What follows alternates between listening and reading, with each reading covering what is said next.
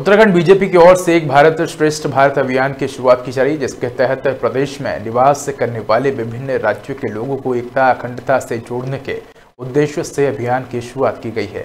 इसमें अनेक पारंपरिक त्योहारों को प्रदेश में मनाने के लिए अभियान चलाया जाएगा। इसके लिए बीजेपी के प्रदेश अध्यक्ष महेंद्र भट्ट ने पूर्व प्रदेश महामंत्री सुरेंद्र भट्ट और प्रदेश प्रवक्ता वीरेंद्र विष्ट, विनय रुहेला को ज़िम्मेदारी दी है। मीडिया को जानकारी देते हुए प्रदेश महामंत्री आदित्य कोठारी ने बताया कि प्रदेश में देश के कई राज्यों के लोग निवास करते हैं। उनके सांस्कृतिक और त्योहारों को मनाने के लिए इस अभियान को चलाया जाएगा, जिससे दूसरे राज्य से आए हुए लोगों का मनोबल बढ़ेगा और प्रदेश की संस्कृति से जुड़ने का अवसर मिलेगा।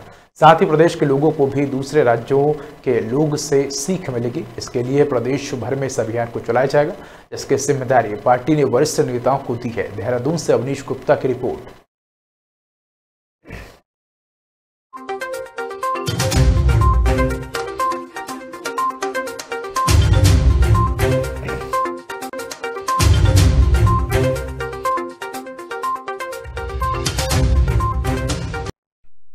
जनता पार्टी भारत की संस्कृति और सभ्यता को संरक्षण और समृद्ध करने के लिए वचनबद्ध है। उत्तराखंड भी एक मिनी भारत का स्वरूप है। हमारे उत्तराखंड में देश के विभिन्न हिस्सों से भारतीय संस्कृति और परंपराओं को मानने वाले लोग रहते हैं। भारतीय जनता पार्टी ने एक अभियान लिया है कि उत्तराखंड में चाहे वो पश्चिम बंगाल से हों, चाहे दक्षिणी भारत के लोग हों, चाहे बिहार के हों, चाहे उत्तर प्रदेश के, चाहे विभिन्न हिस्सों में कहीं के भी हों